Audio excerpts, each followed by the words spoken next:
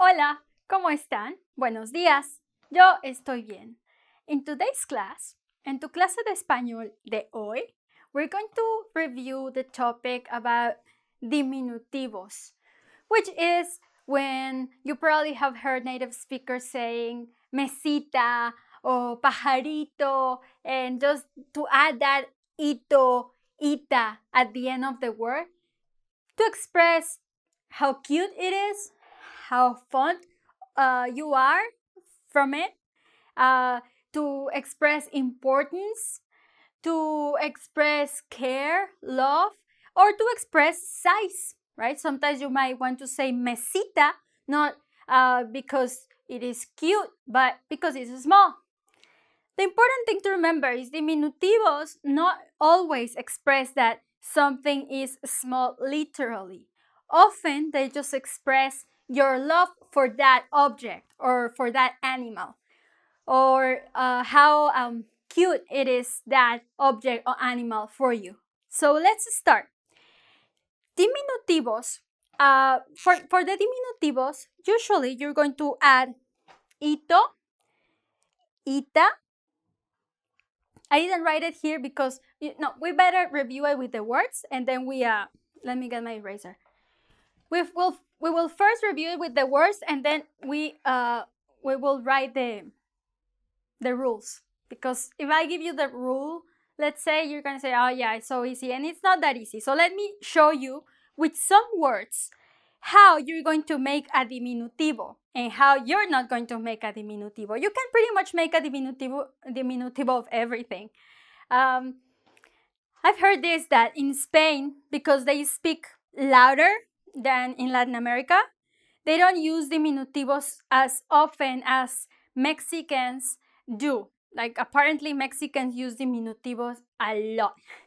I don't know if it's true, but I've heard that through professors that know a lot more about this topic. So yeah, maybe it is. Maybe because they speak louder, they have to be a bit more, ay, pásame la mesa, or whatever, instead of saying, ay, eh, pásame la salecita, etc. To make it, you have to be a bit more uh, louder, louder.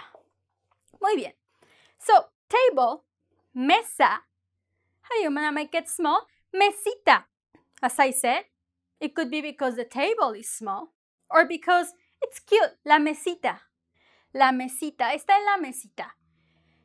Cat, gato, gatito. Gatito. Cup, taza, tacita. Sí. Cup, taza, tacita. No. See, here, three different ways. Mesa, there's an S here. Mesa, what are we gonna do? Mesita. We're gonna keep the S. And we're going to add ita, but we're keeping the S. Now here, cat, gato, there is no S and there is no Z. It's only gato. So we're just going to add gatito and replace this O for ito. If it was gata, like cat, like a cat woman, no, that's gatubela. Uh, no, like a female cat, gata, it would be gatita with an A instead of a no at the end. Gata with an A, gatita. Because it doesn't have the S or it doesn't have the uh, Z. Now let's go with the Z. Cup, taza, or as if uh, in Spain they would say taza, taza, taza, taza, tacita, tacita, they would say tacita, tacita. Because there is a Z, we're going to change the Z for a C. You see, C. So the Z is going to change for the C. If it has an S, you're going to still have an S. And if it doesn't have any of this, then you're just going to say ito or ita. Muy bien. Seguimos. Pedazo. Slice, pedazo or chunk. Pedazo. Pedacito, right? Because it has the Z and it ends with O. So it's pedacito. This has the Z but ends with A. So you need tacita. Muy bien. pedazo, pedacito. En España dirían pedazo y pedacito, porque esta C y la Z la pronuncia como, como de the en inglés, ¿ah? the. Muy bien. Avión, avioncito. No es, no sé, then we're just to keep the, uh, the seat, avioncito. So pretty much if we have the S, we keep the S. If we don't have the S, then we change it for a C to make it small. If ratón, mouse, mouse, ratón, ratoncito. Maybe you are fond of mice. So you say, ¡ay, mira el ratoncito! ¡Ay, qué bello! mira el ratoncito, qué bello.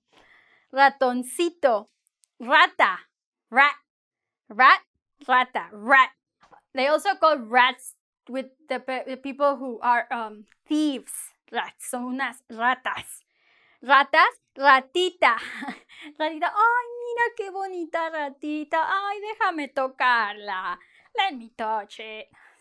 They say in England they play with mice, I think in the 18th century, with the white mice that they were like, ah, pets. So imagine those you were in England and you were in your castle and you say, oh, oh what a beautiful mouse. It's a, qué bonito, oh, qué bonito ratoncito. Oh, what a beautiful mouse. Let me touch it. And you say, oh, qué bonito ratoncito. Déjame tocarlo. Let me touch it. Ding, ding, ding, ding, like that. Muy bien. Rata, ratita. Bear, oso. Aww, aww, I wanna go home and cry. Oso, osito. Osito. Osito de peluche. Muy bien. Osito de peluche is the, the furry, the furry bear, like the te teddy bear, teddy bear. When I was learning English, forget it. It's a funny story. I'll tell you later. Bird, pájaro, pájaro, pajarito. Ah, that's why you say, oh, mira el pajarito. I always say, mira el pajarito. Qué bonito. Yo quiero un pajarito. See, because they are so, so beautiful. I love birds. Speaking of birds, you see my blouse? Can you see it? See my blouse? See my blouse? It's got a bird. Es un pajarito. Actually, this blouse, I borrowed it from my mom, my mother, mi mamá. Uh, and this blouse is actually handmade in Oaxaca. Mm -hmm, Oaxaca. It's a very particular embroidery from Oaxaca that is not so easy to find, eh, by the way. It's very special. It's very, very special. Uh, my father gave my mo mother once before, like many years ago, before he died, many years ago. So my mom um, got a new one to keep the memory and I borrowed it. me la prestó, me la prestó. Y tiene un pájaro y una flor. Flor, pájaro pájaro, flor. Pájaro, pajarito. Flor, florecita. To make it cute. Pencil, lápiz. ¿Sí? Z, lapicito. Bag, bolsa, bolsita. Pelota, pelotita. Lombriz, worm. Worm, lombriz, Lombricita, ay, qué bonita lombricita, dame una. ¿Me puedo comer una? Can I eat one? Muy bien, gracias. Pez, pececito. Tren, trenecito. Luz, lucecita. Now you see here, muy bien. This one already has the E, noche, and you're just gonna add a cita o cito. Lombricita o lombricita because it's a female word and you're gonna change it for the C, C. The Z changes for the C. Here you're just gonna add a cita. Pez, you cannot you cannot say pez, pesito. You have to add the E. So you would say it pececito. So if it ends with Z and it's a shorter word like luz or pez, you have to add esito, esito or esita. Otherwise, you can just say uh, lombriz, just take the Z out, right? Uh, bolsa, take the S out, bolsita. You understand? So in shorter words that end with set, you have to add the esito or esita, depends on the gender. Muy bien. Now, as I said, these diminutivos are very common in my language, in Spanish. And that's because uh, it's, I read that it's been like centuries of using diminutivos. And in every century, it had a different uh, use. These days, we use it to express how um, fond of something we are, or to express the size sometimes, but not so much. It's more, more like to make it cute or to make it like loving for you. But also, they can express importance. Now, sometimes you might hear these words, muchacha o muchachita, o pueblo o pueblucho. These words, actually, these endings, ucho, ucha, chita or chito, are derogatory. So, ucho, muchachito or muchachita could potentially be derogatory. Not always, no siempre, but it has a chance. So maybe you should avoid these endings that you might hear. It's not a diminutive, it's actually a derogatory word. It's not, es no es un diminutivo. The same with mujerzuela, like a loose woman, mujerzuela. You may not want to use it. They use it in uh, telenovelas, but you probably don't need to use it. So that's how you make a word cute or how you express how fond of uh, an object or an animal you are. And as I said, you can pretty much make everything diminutivo, but probably more animals and objects that you are fond of. Muy bien. So that's my lesson for today. Uh, I hope you enjoyed it.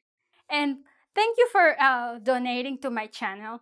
Uh, thank you for your donations. Thank you for watching my videos. And I hope to see you very soon. Adios.